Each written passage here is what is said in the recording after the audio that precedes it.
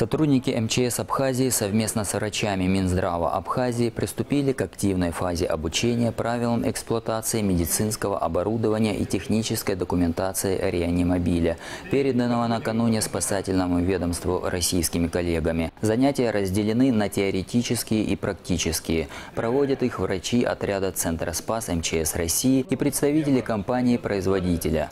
Оборудование в реанимобиле достаточно простое в обращении, надежное и подобрано таким образом, чтобы оказать пострадавшему максимально широкий спектр медицинской помощи. Что же до уровня стартовой подготовки потенциального обслуживающего персонала, то по словам российских специалистов он вполне приемлем. Все ваши врачи готовы к работе в условиях этого автомобиля. Мы сейчас просто немножечко им покажем, как все работает, и они должны справиться со всем, что мы им сейчас привезли.